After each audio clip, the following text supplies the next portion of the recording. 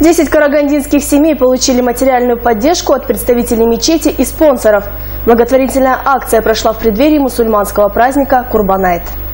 Главная цель мероприятия – поднять настроение малообеспеченным семьям, говорит главный имам мечети. В Караганде немало щедрых людей, одни из которых и проявили инициативу организовать благотворительную акцию.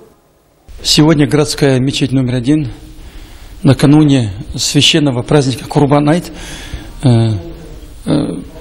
проводим акцию милосердия, то есть э, с участием э, э, спонсоров нашей мечети мы сегодня организовали акцию милосердия, то есть в денежном виде мы решили помочь многим семьям денежным виде, чтобы они достойно, ну, полноценно встретили Курбан Айт.